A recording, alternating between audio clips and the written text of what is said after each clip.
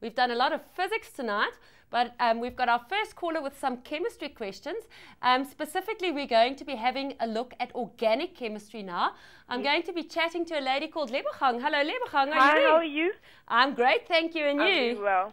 Okay, now Lebogang, you didn't have a specific question, but what you said to me is that you're battling with ketones, aldehydes, carboxylic Uh-huh, acid. because they seem so alike. They do kind of seem all alike. They've all got carbons and hydrogens and oxygens. Mm-hmm.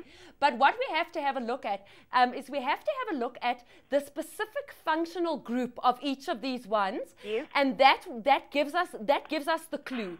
Okay, now I'm going to start with a carboxylic acid. All right. Yes. Okay, now I'm going to take the simplest carboxylic acid called methanoic acid. Now remember, the word meth stands for how many? No, meth One, one. one, yes. One, meth is one and Yes. eth is two. Okay. Now this is methanoic acid. Now what I, what I ha- want you to have a look at, um, Lebogang, is what I call the functional group. Now the functional group is what makes methanoic acid methanoic acid. What makes this a carboxylic acid, all right? Yes. So this is a carboxylic acid. Okay, now what are we looking out for? How are we going to identify one of these suckers when we come across it? What we look out for, Lebogang, is this part. If we have a C that is double bonded to an oxygen mm-hmm. and that same C is also bonded to an OH, then we know that it's a carboxylic acid. Okay. Okay. So that's that's what we're looking out for. Let's just do another example. I'm now going to do. Um, I'll just draw the whole thing out nicely. I'm now going to do ethanoic acid. Now, ethanoic acid, or let's do propanoic acid. Let's live on the wild side and go for three carbons. Now, Lebogang, I understand your problem totally because they do kind of all look the same. But have a look now. There's my C double bond O, and there's my OH. So I'm thinking, what is this? Is it a um, is it a ketone? Is it an aldehyde? Is it a bird? Is it a plane? Mm-hmm. It's And- an. Can you see mm-hmm. there? I've got my C double bond O mm-hmm. and my OH, so it's definitely a carboxylic acid, right? Mm-hmm. And this particular one's name will be propanoic acid. Mm. Meth eth prop, prop standing for three carbons. Okay, so this is propanoic acid.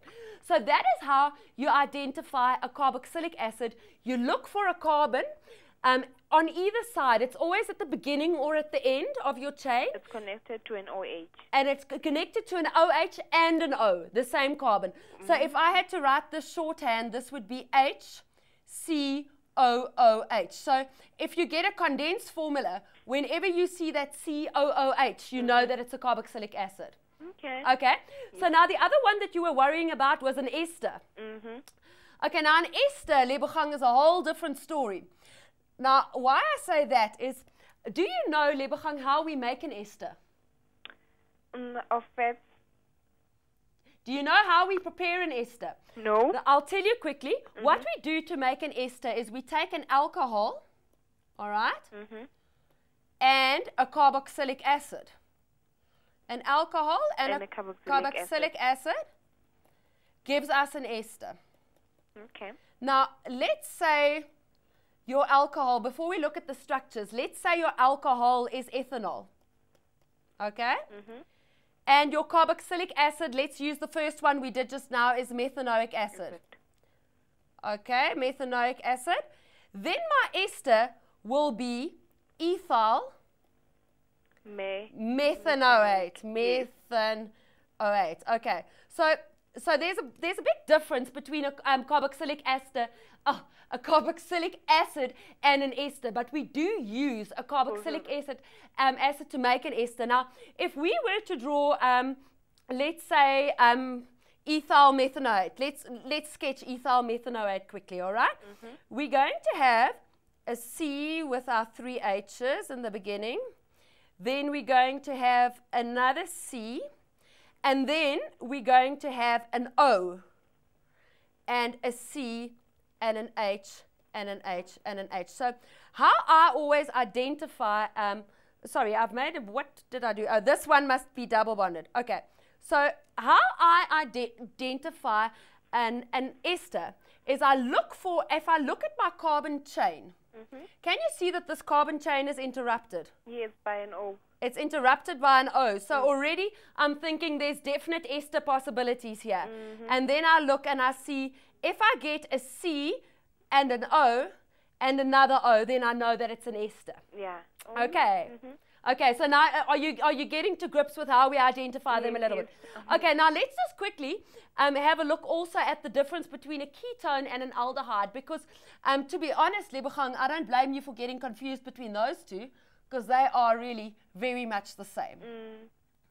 All right, now this is a ketone. Here I have a ketone. I've got CH3, I've got C, Three. double bonded to the O and Another another C and another CH3. Now this is a ketone. How do I know that it's a ketone? In the middle with C's on either side, I've got a C double bonded to an O. Mm-hmm. Okay? So I'm I'm saying, all right, that tells me that I'm dealing with a ketone. All right? Mm-hmm. Now, what is the difference between a ketone and an aldehyde? Well, they've basically got the same functional group, Lebogang, but for the aldehyde, the C double bond O is on the end of the chain.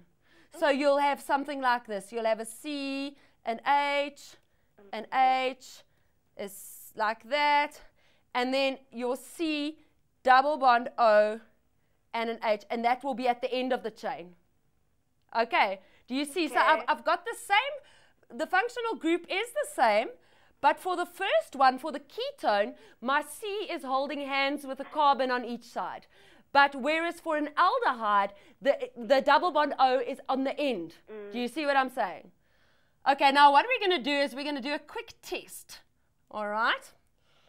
I'm going to give you I'm going to give you two compounds and I'm going to quickly ask you to tell me whether they're ketones or aldehydes or um, carboxylic acids or esters. Let's see whether I've taught you something.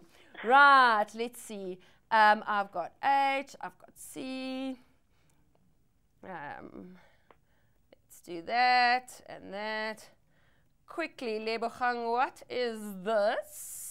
Just give me the type of compound. Is it a carboxylic acid? Is it an ester? Is it a ketone? Is it an aldehyde? This is what. This one is a ketone. No. Ketone is a C double bonded to an O with carbons on each side. This is the very first one that we had a look at. It's a carboxylic Carboxylic acid. acid. Okay. So carboxylic acid, C double bonded to an O and an OH at the end of a chain. All right. Now, what you need to do, Lebogang, I'm going to give you a tip. I want you to write down an example of a ketone, an aldehyde, a carboxylic acid, excuse me, mm-hmm. as well as an ester. And I want you to take a highlighter mm-hmm. and, and highlight the, the, the functional group for me. All right. Okay. And, and that's the best way that you That that, you're can gonna that, that, that you can know them. But I'm absolutely with you. I know that they all kind of look the same. We've got C's, we've got double bond O's, but you really just need to check them out over and over again and have a look out for those properties that I've just explained to you. All right. Okay. But Lebogang, if you don't come right, remember we are here all week. Mm -hmm. So um, Monday please to Thursday. yes. Monday to Thursday, six to seven. So please do call us again.